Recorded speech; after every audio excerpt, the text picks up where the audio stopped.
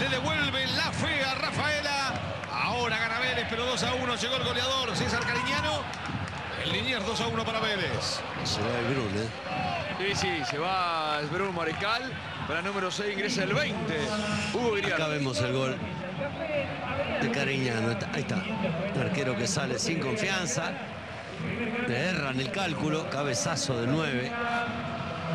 El centro es de González.